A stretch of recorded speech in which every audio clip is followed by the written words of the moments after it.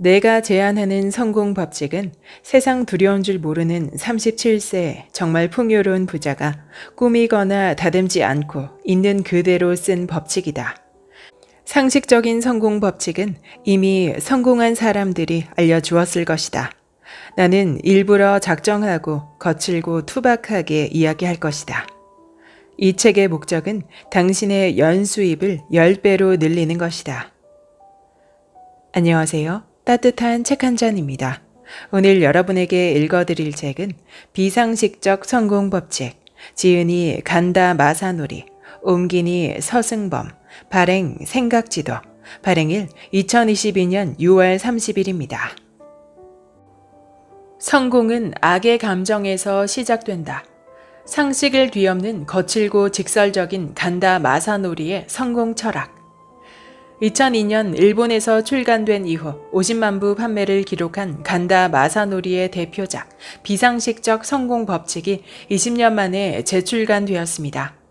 출간된 지 오래된 이 책이 다시 주목을 받는 이유는 간단합니다. 이 책을 읽고 인생의 각도가 달라지고 성공했다는 사람들이 끊이지 않고 계속 나오기 때문입니다. 시간이 지날수록 그의 말이 현실로 증명되면서 책의 가치를 알아보는 사람이 폭발적으로 생기는 것입니다. 책에서 간다 마사노리는 부의 추월 차선에 올라타는 8가지 습관에 대해 알려줍니다. 습관이라고 해서 의뢰 거기서 거기라고 생각하면 큰 오산입니다. 그가 내놓은 8가지 성공 습관은 성공한 사람은 절대 쓸 수 없는 악에 대해 비난받을 각오를 하고 작정하고 쓴 이야기입니다. 거칠고 투박하며 직설적이지만 수많은 성공자들이 성공할 수밖에 없었던 이유를 이 책을 통해 확실히 깨닫게 될 것입니다. 그럼 지금부터 본문 일부를 낭독해 드리겠습니다. 왜 성공에 악의 에너지가 필요할까? 행복은 돈으로 살 수 없다. 진부한 표현이지만 이는 부정할 수 없는 진실이다. 그렇다 해도 당신은 이 진실을 직접 체험하고 싶을 것이다.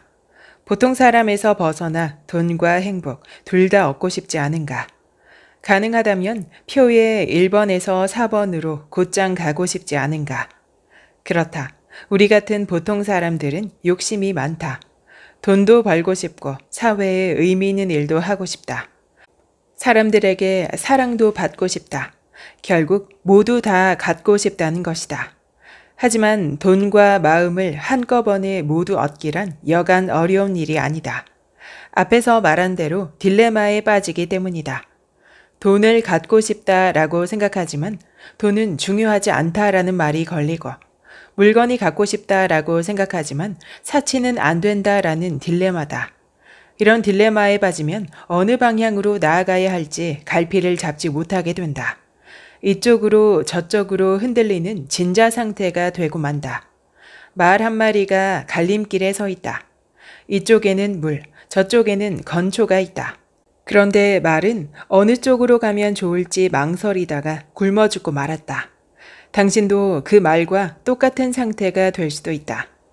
진자 상태에서 벗어나 단기간에 재정적으로 풍요로운 성공을 이룰 수 있는 방법이 있다. 이 방법은 2단계로 나누어 실천하는 것이 좋다. 우선은 자신이 가진 악의 에너지를 활용해서 단기간에 금전적으로 안정 궤도에 오른다. 그런 후 마음도 풍요로워지도록 필사적으로 노력한다. 즉, 돈과 마음을 동시에 겨냥하는 것이 아니라 일단 돈의 우선순위를 두고 그런 다음에 필사적으로 마음을 연마하는 것이다. 이 2단계 실천 방법을 잊지 말자. 그렇다면 악의 에너지를 활용한다는 말은 무슨 뜻일까? 악의 감정은 질투, 적대심, 체면, 허영심과 같은 감정이다. 우리는 일반적으로 이런 부정적 감정을 마음에 담아서는 안 된다고 배웠고 그렇게 알고 있다.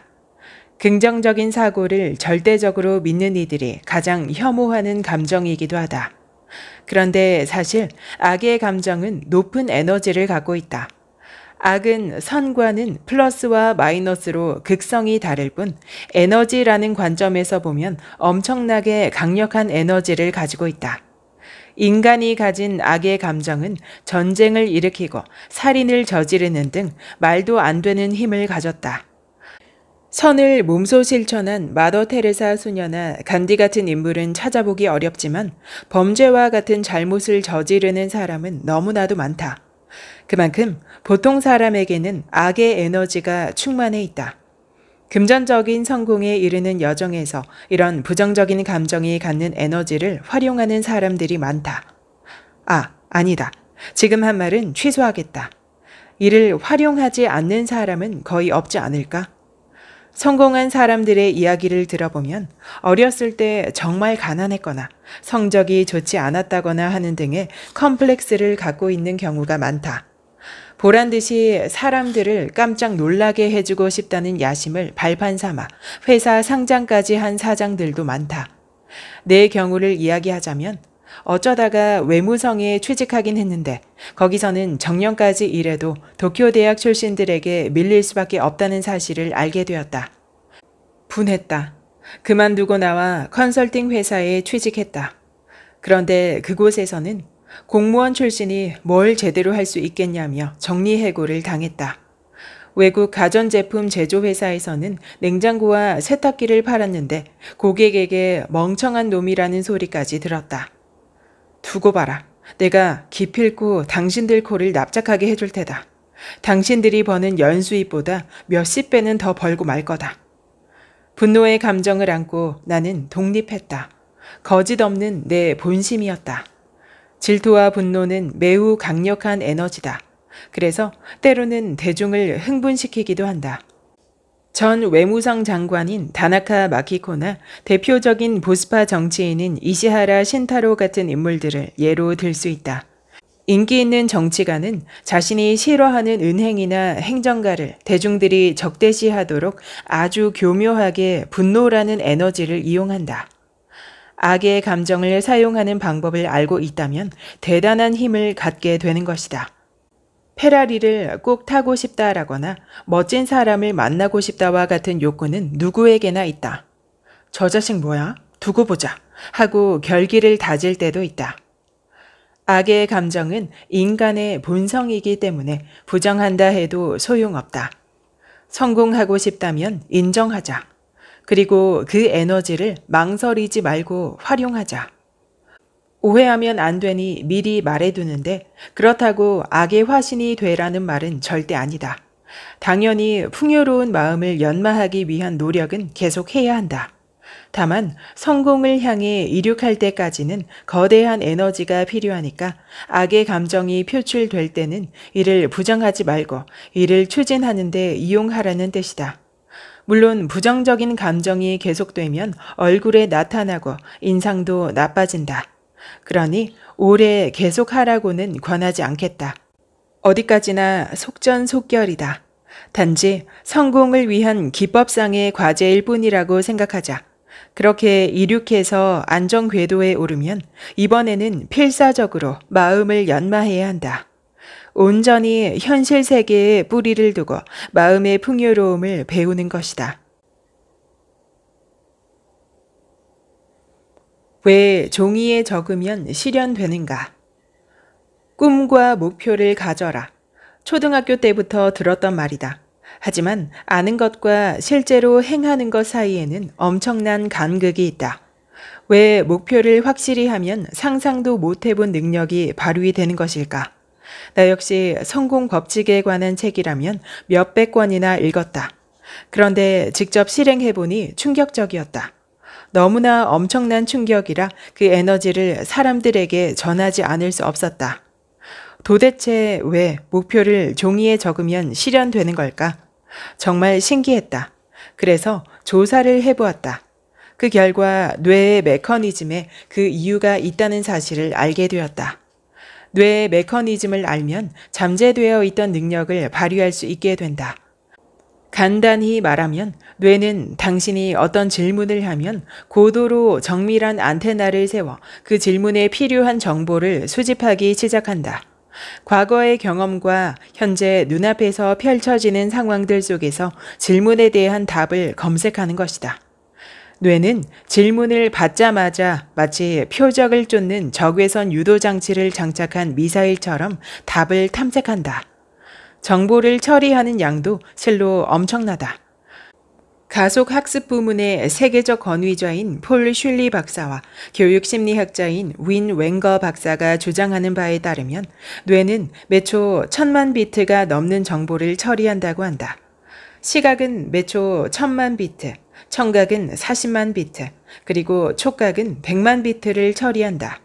이 숫자는 연구자에 따라 다르지만 뇌가 엄청난 정보 처리 능력을 갖고 있다라는 주장에는 이견이 없다. 질문은 목적의식에 의해 만들어진다. 인생의 속도를 높이는 것 역시 어떤 목적의식, 즉 미션이 있을 때 가능하다. 미션은 뇌에 안테나를 세우고 필요한 모든 정보들을 수집한다. 특히 실현하고 싶은 것을 종이에 적어서 잠재의식의 목표로 입력시켜 놓으면 뇌는 목표 실현에 필요한 정보를 쉬지 않고 계속해서 수집한다. 뇌는 구조상 목표를 실현하기 위한 답을 찾아내게 되어 있다. 그래서 깜빡 잊고 있었는데 자동으로 목표가 실현되어 있는 경우가 생기는 것이다. 이러한 뇌의 경이적인 구조를 생각하면 목표는 많을수록 좋다는 결론에 도달한다. 내가 실제 경험한 바로는 우리의 뇌는 패렐럴 컴퓨터처럼 몇 가지 작업을 동시에 병행 처리할 수 있다. 100가지 질문을 하면 100개의 검색 엔진이 동시에 작동하면서 그 답을 계속해서 찾아낸다. 성공한 사람들 중에는 목표가 6,000개인 사람도 있었다. 몇 년 전부터 내 목표는 128개다. 그 중에서 몇 가지만 소개해 보려고 한다. 스포츠카를 구입한다. 고액 납세자가 된다. 총리가 나에게 전화해 마케팅 상담을 부탁한다. 하마자키 아유미와 식사를 한다. 아놀드 슈왈츠 제네거와 이야기를 나눈다. 나는 이를 실현할 목록이라고 부르는데 쓰고 나서 2년이 지나자 실현했다고 할 만한 것들이 제법 나와서 깜짝 놀랐다. 뇌는 이토록 대단한 능력을 가지고 있다. 그런데도 학교 교육에서는 아주 작은 용량의 지식을 외우는 것을 중요하게 여긴다. 말도 안 되는 짓이다. 계속 말했듯이 우리 뇌는 필요하다고 생각되면 1초에 천만 비트 이상의 정보를 처리할 수 있기 때문이다. 정보를 달달 외우는데 시간을 쓰는 것은 인생을 낭비하는 것이다. 그보다는 초고성능 패럴렐 컴퓨터인 뇌의 사용 방법을 배우는 편이 훨씬 더 인간적이고 효율적이다. 어쩌면 당신이 하는 말은 비논리적이고 비과학적이다. 도저히 믿을 수 없다라고 말하는 이도 있을지 모르겠다. 물론 엄밀히 따지면 과학적이지 않다고 생각한다. 사실 나 역시 아직도 반신반의하고 있다. 하지만 나는 일단 해봤다. 그랬더니 나도 모르는 사이에 목표가 실현되어 있었다. 목표가 실현되었기 때문에 다시 한번 또 다른 목표를 종이에 적어보았다. 한 번은 실현되었지만 다음번에도 또 그렇게 될까 하면서 그랬는데 이번에도 또 실현되었다. 와, 진짜 말도 안 돼. 하며 놀라는 사이에도 내가 실현할 목록이 하나씩 하나씩 이루어지고 있다. 그러니 이제는 믿든 안 믿든 과학적이든 아니든 아무래도 상관없다. 그저 하면 되는 거니까 하면. 그러니까 당신도 속는 셈 치고 목표를 몇 개쯤 적어보라고 권하는 것이다. 믿져야 본전이다. 실현되지 않는다고 당신이 손해볼 것은 없다. 있다면 종이 한 장과 몇 분의 시간을 허비했을 뿐이다. 그러나 적어 놓은 목표 중 하나라도 실제로 이루어진다면 그때는 나에게 뭐라고 할 것인가? 내가 원하는 대로 잠재의식을 프로그래밍 한다. 나는 종이에 적은 목표를 읽는 것만으로 무슨 일이든 잘 풀렸다. 단지 이 방법 하나만 사용했다. 내가 특별한 것 아니냐고 말하고 싶은 기분도 이해한다. 몇 년 전까지 나 역시 당신과 같은 입장이었으니까. 그러나 이는 단지 뇌 속에서 일어나는 화학 반응일 뿐이다. 뇌의 화학 반응이 당신과 내가 다르다고 생각하기는 어렵다. 잠재의식의 프로그래밍을 하는 이 방법은 다른 책들에서도 소개된 것처럼 이미 몇 세기 전부터 사용해온 것이다. 성공한 사람들 사이에서는 너무 당연하다고 여기는 방법이다. 다만 잠재의식이라고 하면 보통 이상한 데 빠진 게 아니냐고 의심하게 된다. 이를 부정적으로 해석하는 매체들도 있다. 그러다 보니 성공한 사람들은 이 방법을 공공연하게 드러내지 않는다. 나몰래 조용히 실행하고 있을 뿐이다. 내가 나의 잠재의식을 효과적으로 이용하기 시작한 계기는 잘 다니던 회사에서 정리해고를 당한 뒤부터다. 하루아침에 실업자가 된 나는 앞으로 어떻게 해야 할지 막막했다. 우연히 서점에 들렀는데 나도 모르게 빨려들 듯 머피의 성공 법칙이라는 책을 읽게 되었다. 잠재의식을 이용하는 방법에 관한 내용의 책이었다. 책을 보면서 나는 깜짝 놀랐다. 그제야 내가 왜 정리해고를 당했는지를 알게 되었다. 내가 정리해고 대상자가 된 것은 당연한 일이었다. 평소에 나는 정리해고를 한다면 내가 제일 먼저 대상자가 되지 않을까 하는 말을 입에 달고 살았다. 나는 스스로에게 정리해고를 당하리라 최면을 걸고 있었던 것이다. 그 말이 그대로 현실이 되었을 뿐이었다.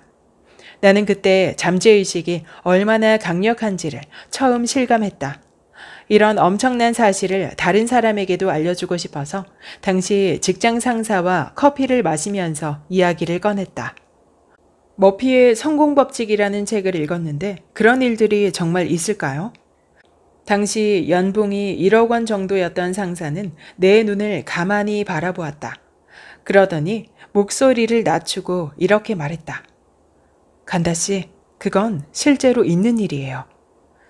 내 경험으로는 연수입 2억 원이 넘는 사람들은 거의 대부분 잠재의식을 의도적으로 활용하고 있다.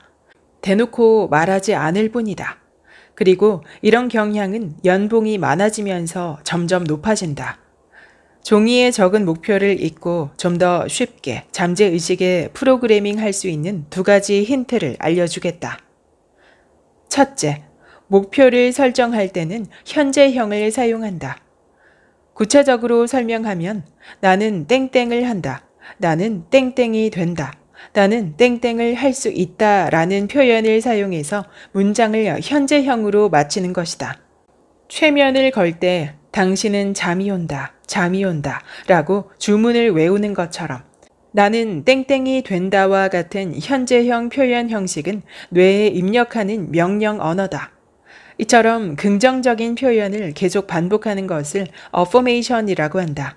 이 방법은 세계적인 수준의 스포츠 선수라면 누구나 반드시 하는 방법인데 어포메이션을 하느냐 하지 않느냐에 따라 기록이 크게 달라지기 때문이다. 둘째, 목표를 읽으면서 기분 좋게 웃으면 훨씬 효과적이다. 나는 총리가 나에게 대화를 요청한다 라는 목표를 세웠다. 그 목표가 적힌 종이를 읽을 때 흡족하게 웃으면서 다음과 같은 상황을 생각한다.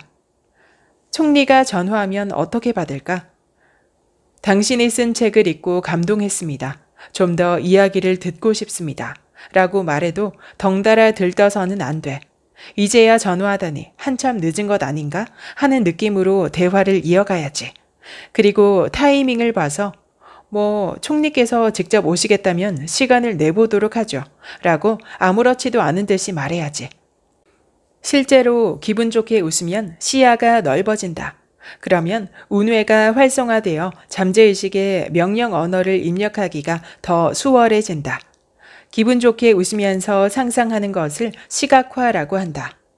어포메이션이나 시각화 같은 용어가 낯설지도 모르겠다.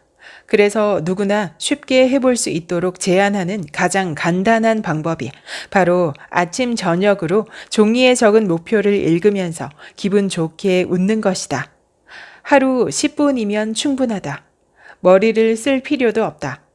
이런 간단한 방법으로 당신이 원하는 목표가 실현된다는데도 하지 않을 건가?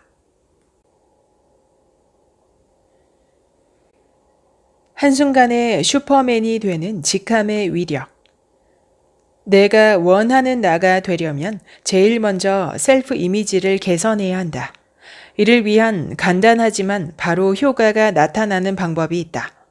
먼저 나 자신이 개선되었던 경험부터 이야기하겠다. 그런 다음 당신에게도 응용 방법을 가르쳐 주겠다. 나는 5년 전에 경영 컨설턴트로 창업을 했다. 그런데 초창기에는 고객에게 가르친다는 것 자체가 너무 싫었다. 정신적으로 엄청난 압박감을 느끼고 있었기 때문이다. 당시 나의 주력 상품은 돈 들이지 않고도 고객을 모으는 방법을 가르쳐 줍니다. 였다. 나의 컨설팅 방식은 조사, 분석을 해주고 비용을 받는 것이 아니라 질문을 받으면 그 자리에서 상담을 해주고 상담료를 받는 식이었다. 구체적으로 말하면 광고 전단지나 DM 등으로 광고 방법을 바꿔서 고객 쪽에서 전화 상담을 요청하는 비율을 높이는 것이었다. 그리고 전화 응대 방법을 개선해서 계약률을 높여주었다. 매우 간단하게 할 수 있는 방법을 제시한 것이다. 그리고 그대로 하기만 하면 결과가 바로 나왔다. 그래서 컨설팅을 하는 나도 항상 진검 승부를 한다는 자세로 임했다. 게다가 내가 쓴 책의 제목이 저예산으로 우량 고객을 확보하는 방법. 90일 만에 당신의 회사를 고수익 기업으로 바꿔라 등이다 보니 초기에는 자금 조달이 힘든 회사나 망할 위기에 처한 회사들만 찾아왔다. 그러다가 위장병이 생겼다. 그럴 만도 했던 것이 고객들이 살려주세요. 이런 상태라면 60일 후에는 자금이 바닥날 것 같습니다. 등의 절박한 심정으로 상담하러 왔기 때문이다. 그리고 나보다 몇십 년이나 비즈니스 경험이 많은 고객들에게 선생님, 선생님 소리를 들었다. 솔직히 당시 내 심정은 이랬다. 나는 선생이 아니에요. 고객을 확보하는 방법은 가르쳐 줄 수 있지만 망하기 직전에 와서 나에게 살려달라고 하면 곤란하다고요. 나는 정신적으로도 너무 지쳐 있었다. 세미나 중간에 휴식 시간이 되면 곧장 대기실로 도망갔다. 점심 식사 시간에도 가능한 한 질문을 받지 않으려고 강사실에 숨어 있기도 했다. 괴로웠다. 이런 나 자신을 납득할 수가 없었다. 이래서는 안 되겠다 싶어서 나에게 도움이 되는 최면을 걸어보기로 했다. 자, 어떻게 최면을 걸 것인가? 나는 내 마음속에서 직함을 바꿨다. 이전까지 내 직함은 실천 마케터였다. 이 직함이 그대로 나의 셀프 이미지가 되었다. 실천 마케터로서 고객에게 실천하면 성공할 수 있는 방법을 제시했다. 그러나 상세하고 친절하게 가르치고 이끌어주는 것은 내 일이 아니라는 이미지가 내 안에 깔려 있었다. 가르치는 것은 내 일이 아니다. 라는 셀프 이미지를 가진 내가 세미나에서 가르치는 일을 하고 있었으니 정신적으로나 육체적으로 지치는 것은 당연했다. 내가 원하는 나가 되기 위한 적절한 직함을 생각해 보았다. 나는 세미나에서 가르치고 있을 때 쉽게 지친다는 것이 문제였다. 그래서 이 결함을 극복하기 위해 내 일을 편안하고 아무 문제 없이 수행할 수 있는 셀프 이미지로 바꾸면 되겠다고 생각했다. 그래서 만든 직함이 바로 슈퍼 에너자이징 티처였다. energizing이란 사람들에게 에너지를 준다는 의미다. 슈퍼 열혈 교사라고나 할까? 일반적으로 생각하는 교사가 아니었다. 나 스스로 남들에게 활기를 불어넣는 탁월한 교사라는 이미지를 만든 것이다. 그리고 세미나 전에 항상 나는 super energizing teacher다 라고 마치 주문을 걸듯 스스로에게 계속 말해주었다. 그러자 정말 그렇게 되었다. 셀프 이미지를 바꾼 이후 나는 세미나 도중에 화장실에 가는 일이 없어졌다. 거짓말이 아니다. 아침 9시부터 저녁 6시까지 아무리 물을 많이 마셔도 화장실에 갈 필요가 없었다. 여배우는 촬영할 때 땀을 흘리지 않는다는 말이 있다. 그럴 리 없다고 의심했는데 셀프 이미지가 바뀌니 실제로 얼마든지 있을 수 있는 일이었다. 예전에는 질문이 무서웠다. 그런데 이제는 대환영이다. 무엇이든지 다 물어보라는 자세로 임했다. 세미나에서 4시간은 여러분들의 것이므로 내가 할 수 있는 일에 전력을 다하겠습니다. 라고 선언했다. 나의 세미나에 참석해본 사람이라면 알겠지만 나는 쉬는 시간에도 계속해서 질문을 받는다. 점심시간에도 질문을 받느라 밥 먹을 시간조차 없다. 세미나가 끝난 후에도 받을 수 있는 데까지 질문을 받은 후에 저녁 회식 모임에 참석한다. 그리고 거기서도 3시간은 떠든다. 누군가는 그래도 괜찮겠냐고 걱정할 것이다. 말해두지만 나도 평범한 인간이다. 오히려 체력이 좋은 편도 아니다. 그런데 셀프 이미지를 바꿨더니 자꾸 힘이 솟았다. 전혀 피로하지 않다고 하면 거짓말일 것이다. 하지만 피곤한 정도가 다르다. 말하자면 상쾌한 피로다. 이런 경험을 토대로 나는 또 다른 성취를 위해 직함을 되도록 많이 만들었다. 덕분에 나의 결점을 힘들이지 않고 극복할 수 있었다. 그리고 단번에 내가 원하는 내가 될 수 있었다. 그렇게 내 멋대로면서도 나에게 잘 맞는 직함을 여러 개 만들었다. 예를 들면 super prolific writer라는 직함이 있는데 문장을 마구 써대는 슈퍼 다작가라는 이미지다. super loving father는 사랑을 주는 아버지라는 의미로 가정적인 셀프 이미지를 갖는 직함이다. 직함을 만들 때 핵심 포인트는 슈퍼 땡땡땡이라는 식으로 자신의 결점에 휘둘리지 않는 인물상을 표현하는 것이다. 다시 말해 슈퍼맨의 강한 면모를 빌려와서 만들라는 의미다. 참고로 울트라 땡땡도 좋고 더 근사하게 만들고 싶다면 땡땡 전문가, 땡땡 마스터도 괜찮다. 굳이 영어가 아니어도 상관없다. 정확한 영어가 아니어도 괜찮다.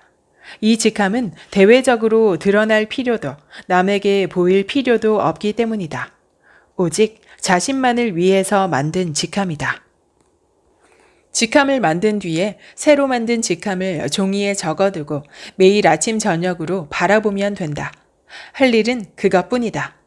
더 철저하게 하고 싶다면 처음 얼마 동안은 걸어 다닐 때 나는 슈퍼 땡땡이다 라고 중얼거리는 것도 좋다. 다른 방법은 필요 없다. 이것만으로도 당신은 변신할 수 있다.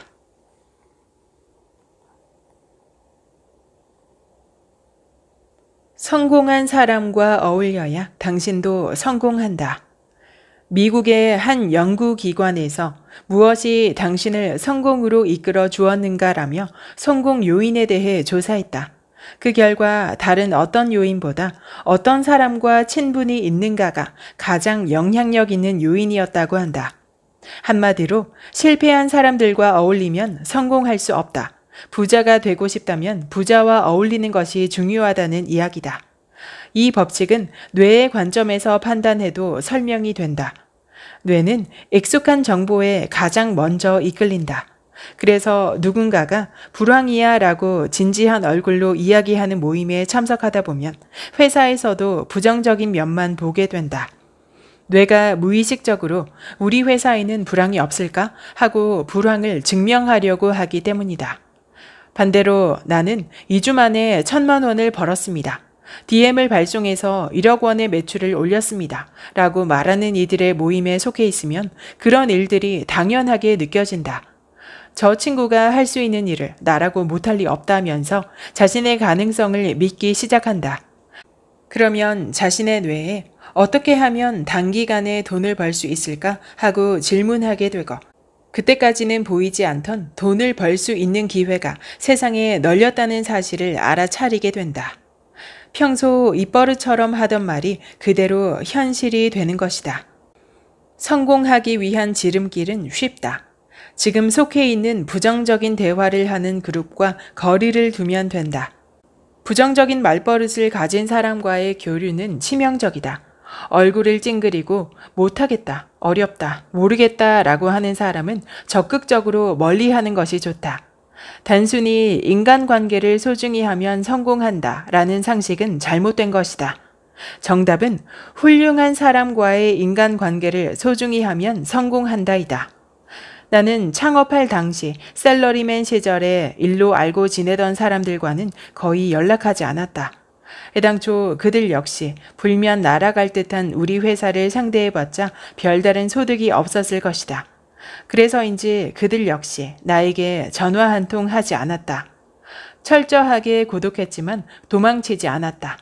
오히려 그 고독을 즐겼다. 그러자 얼마 지나지 않아 만나는 사람들의 수준이 달라졌다. 개인이든 회사든 다음 무대로 옮겨갈 때는 자연스럽게 알고 지내는 사람들의 부류가 달라진다. 인생의 다음 무대로 나아가기 위해 성공한 사람들과 어울리고 싶을 것이다. 그래서 만나달라는 부탁을 한다. 하지만 그들이 만나줄 확률은 매우 낮다. 대체로 성공한 사람들이란 워낙 바빠서 시간을 허투루 사용하지 않으며 어울리는 사람들 또한 매우 신중하게 선택한다. 물론 일단 부딪혀 보자는 정신은 좋다. 내 멋대로 다가가는 것은 상관없지만 이런 행동이 때론 상대방에게는 민폐가 될 수도 있다. 그렇다면 어떻게 해야 성공한 사람들과 어울릴 수 있을까? 성공한 사람들과 자연스럽게 알고 지내는 사이로 발전하는 이들에게는 공통점이 있다. 우선은 일방적으로 받는 것을 기대하지 않고 상대방에게 주는 것부터 시작한다.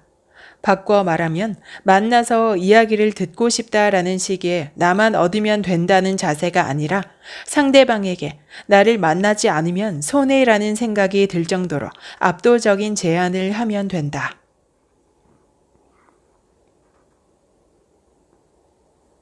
돈에 대한 죄악감을 없애라. 나는 돈을 아주 좋아한다. 어린 시절부터 돈은 내 친구였다.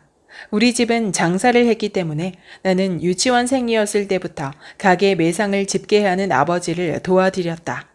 은행원처럼 1만원짜리 지폐를 세기도 하고 100원짜리 동전을 10개씩 정리해서 피라미드처럼 높이 쌓는 놀이도 하곤 했다. 100원짜리 동전을 양손에 쥐고 흔들면 찰찰찰 하는 소리가 났다. 나는 이렇게 돈을 가지고 놀면서 정리했다. 꼬깃꼬깃한 지폐가 있으면 반들반들하게 다리미질도 했다. 어린 시절에 이런 경험이 아직까지 남아서인지 나는 아직도 돈을 볼 때마다 반가워서 어쩔 줄 모른다. 창업하고 돈을 벌기 시작하면서 가장 즐거웠던 일이 무엇인지 아는가? 은행에 가서 ATM 기기에 예금 통장을 넣는 순간이었다. 칙, 칙, 칙. 통장에 무언가 찍히며 내는 소리가 멈추지 않는 것이 즐겁기만 했다. 아, 이 얼마나 아름다운 소리인가 하며 감동했다. 이렇게 잠시 소리를 듣고 있으면 통장이 꽉 차서 새 통장으로 바꿔주십시오 하는 명령어가 화면에 나온다. 다 쓴 통장을 들고 통장이 다 됐네요 라고 말하면서 새 통장으로 바꾸러 갈 때 뭔지 모를 뿌듯함에 스스로를 칭찬하고 싶어진다. 통장에 찍힌 금액의 글씨체와 인쇄된 글자의 마모된 감촉에서는 형용할 수 없는 아름다움이 느껴진다. 그리고 잔액의 자릿수가 바뀌는 순간이 빨리 왔으면 하고 너무나 기다려진다. 콤마가 더해지며 자릿수가 바뀌는 순간이야말로 최고의 순간이다. 혼자서 기분이 좋아 실실 웃는다. 돈을 벌 때 기쁜 것은 사장만이 아니다. 직원들도 마찬가지다. 하루는 격리 담당 직원이 은행에서 돌아오면서 싱글벙글 웃고 있었다. 뭐가 그렇게 좋아서 웃고 있는 거야? 아니, 간다 사장님. ATM 기계가 고장난 줄 알았잖아요. 소리가 멈추지 않는 거예요. 회사가 돈을 번다는 것은 직원에게도 신나는 일이다. 그러니 주저하지 말고 철저하게 돈을 벌어야 한다. 돈과 인연이 멀어지는 방법은 아주 간단하다. 인생에서 돈이 전부는 아니야 라고 말하면 된다. 돈 버는 일이 그렇게도 중요한가요? 라고 말하면서 부자들을 질투하면 된다. 그렇게 입버릇처럼 말하면 확실하게 평생 돈의 혜택을 받지 못하는 인생을 살게 될 것이다. 감성 마케팅 개발자인 고사카 유지 선생은 이렇게 말했다. 돈에 왜 그렇게 관심이 많은 거야? 그보다는 사회에 공헌하는 일이 더 중요하지. 라면서 돈 잘 버는 사람들을 야유할 정도라면 당신도 5천만 원을 버는 것으로 만족하지 말고 10억 원을 벌어서 9억 5천만 원을 기부하면 된다. 우선 돈을 벌어라. 돈을 벌고 나서 그 돈으로 정의감을 가지고 철저하게 사회에 공헌하라. 여기까지 비상식적 성공 법칙의 본문 일부였습니다. 이 책의 저자 간다 마사노리는 일본의 대표적인 경영 컨설턴트이자 top marketer로 혁신적인 컨설팅으로 유명하며 베스트셀러 작가이기도 합니다.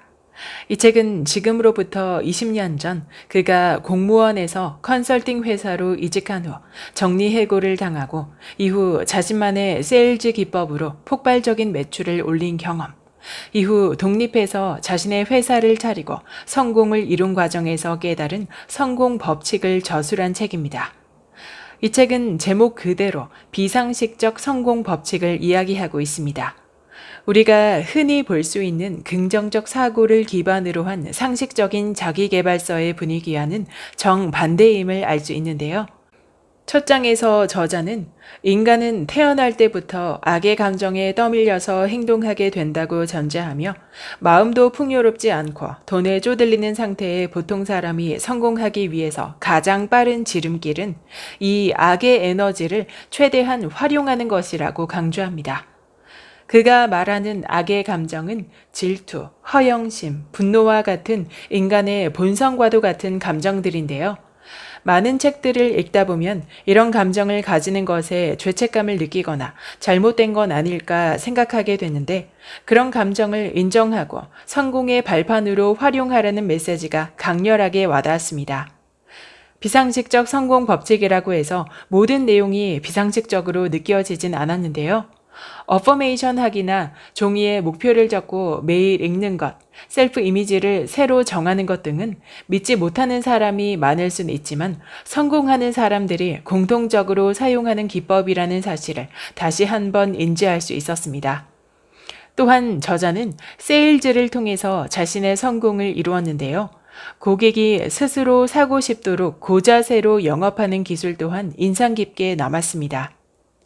이 책을 읽으며 읽는 내내 가슴이 웅장해지는 느낌을 받을 수 있었습니다. 솔직하고 직설적인 문체와 자신의 순수 경험을 기반으로 쓴 내용들이 정말 현실적인 조언으로 깊이 와닿았기 때문입니다.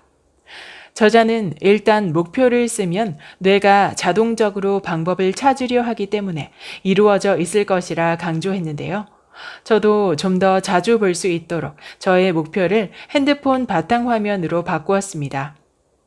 20년이 지난 지금도 왜 많은 사람에게 영향력을 끼치고 있는지 알 수 있는 이 책. 여러분에게도 추천합니다. 구독과 좋아요와 댓글은 큰 힘이 됩니다. 다음 영상에서 만나요.